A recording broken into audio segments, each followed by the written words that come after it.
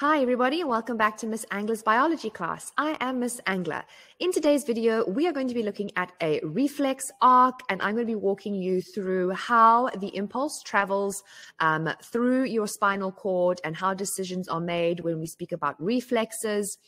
It's also at this point, if you're not so familiar with the structures of the nervous system, that you should go click the link above now to go watch an introduction to the nervous system where I walk you through the basic structures that you see today in this picture.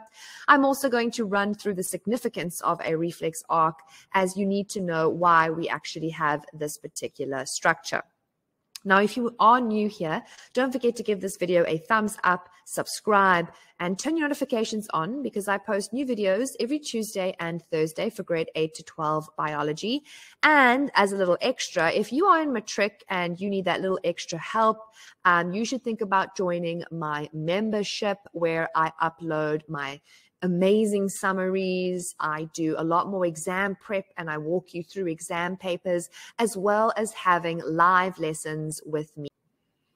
So we're going to start our journey with reflex arcs, starting at the point that you experience the stimulus.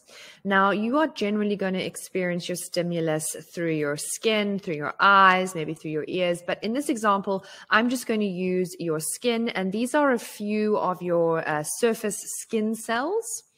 And located inside of these skin cells are going to be receptors of some kind. So I'm just going to draw those in red. And there's one inside of each of them, and they're all connected to each other. And so these receptors, which are in your skin, are going to collect the information they're receiving. And let's say, for this example, you've put your hand down on a hot stove.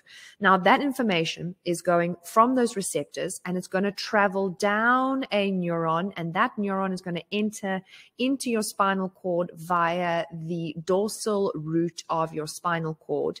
And it's going to make its way towards the gray matter. Now, this particular neuron, you're going to need to know this, is a sensory neuron.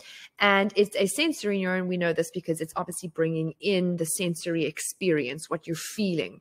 We know it's also a sensory neuron because its cell body, which is this little thing I've drawn on the side here, this circle is, is off to the side of it.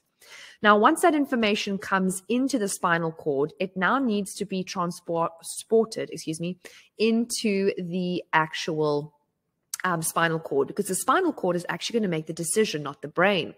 And so we need a specialized uh, neuron, and this specific specialized neuron sits in the gray matter, the full length of it, like that.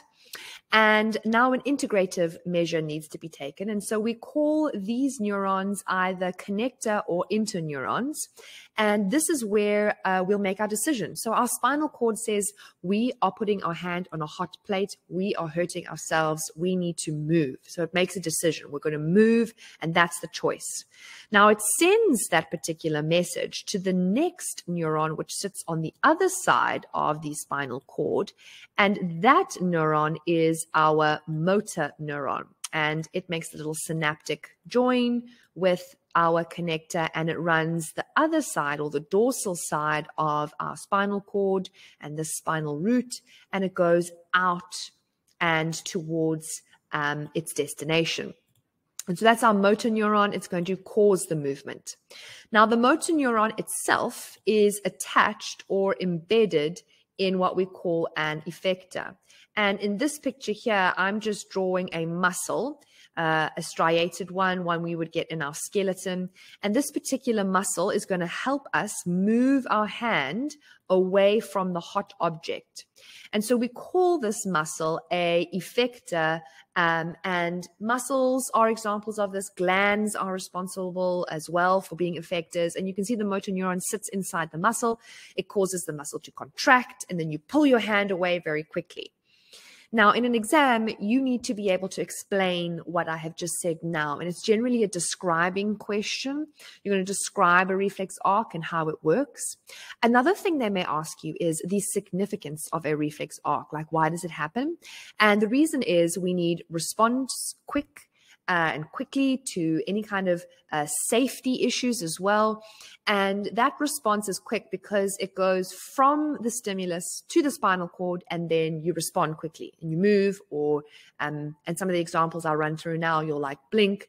And that's because we can bypass the brain. The brain doesn't have to make any decisions, the spinal cord makes all the decisions for us. And this is also sometimes when you burn yourself on a hot plate, you actually move before you feel the pain. It's these split seconds where you didn't actually know you were burning yourself, but your, your spinal cord already knew that you were hurting yourself. And so you quickly move away.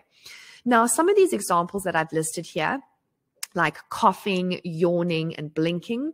They're not just the regular coughing and yawning and, and, blinking. These are all safety measures. And what I mean by that is they are safety measures to prevent you from like dying. So things like coughing, something stuck in your trachea, uh, the reflex to get that out is coughing. If there's too much carbon dioxide in your blood, you yawn more, so you get more oxygen in. And the likewise with blinking, when somebody throws something at your face too quickly, or you hear a loud sound, you generally blink uh, as a way to um, protect your eyes because uh, they're actually one of the most important. Um, uh, receptor organs that humans have. So we want to keep those safe. And that's another way that they can ask this particular question. The last thing they can probably do is ask you to draw a reflex arc. Now, as always, I like to finish off my lessons with a terminology recap. You can use these words for flashcards, and terminology is really important in life sciences, so you need to know how to use these words properly. The first thing we're going to look at was the reflex arc, which is the actual pathway itself where the electrical impulse runs from the receptor into your spinal cord and then out to the effector. That is the arc itself. Then we looked at receptors, which are essentially these specialized cells that experience pain, pressure, temperature. They tell you uh, information from the outside of the body. And it runs along the sensory neuron, which is the neuron that carries that sensation. It then goes into the spinal cord where we find the interneuron, also known as a connector neuron. And that neuron uh, is where we make decisions that decision is then sent via the motor neuron, which is a moving neuron. It means it's going to make things move. And that is sent to the effector, which in this case was a muscle, but it can also be a gland.